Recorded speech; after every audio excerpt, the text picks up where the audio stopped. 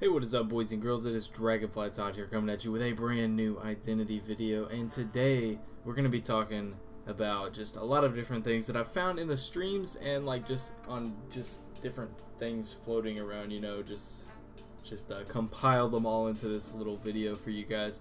So the fact that the release date is, you know, going to be released this month is very uplifting for me and I like the fact that they got their new office and this is actually in the background here is the um, video you know of their office the video tour.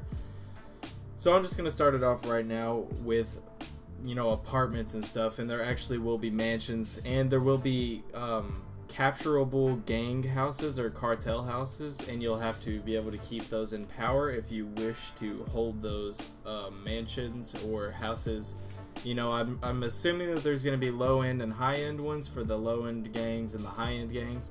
And speaking of living on, you know, different places, you can actually live on yachts, but you can't fully cu customize it. So, like, I don't know, you're missing a lot. You're missing out, you know, a lot whether or not you would have a, you know, a house or a yacht. That's actually a rhyme. But anyway, you can also get into trouble. I don't think you can actually go in and steal people's stuff but maybe they can make it different on the servers like with trespassing i actually they actually brought it up in the uh, video on twitch and as of now it's not illegal to go onto other people's farming land and whatnot but you know who knows maybe a governor will make it uh, legal to where you can shoot somebody if they come on your land.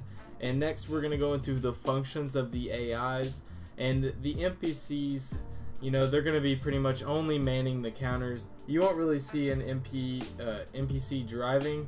And another you know NPC that's going to actually be like kind of interacting and walking around is going to be obviously the animals and the pets are going to include like normal stuff like a dog cat maybe a hamster but nothing like exotic like a llama or a monkey or a, a baboon or something like that and the animals, there's there's already a bear, so there's gonna be bears. There's deers, bear, uh, there's deer, bear, and other North American wildlife.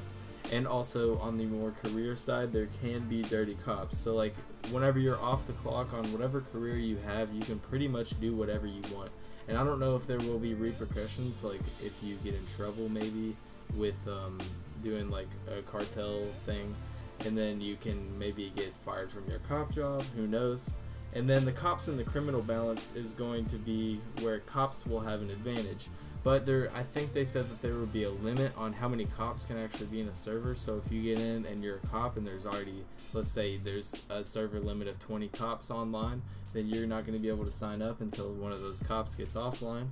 And I really am hoping, I'm really hoping that we have a good balance of cops and criminals because if there if there's no balance then a cops won't be able to respond to a criminal going and robbing a bank and you know it just wouldn't be fun it would take out a lot of you know RPG element in the game.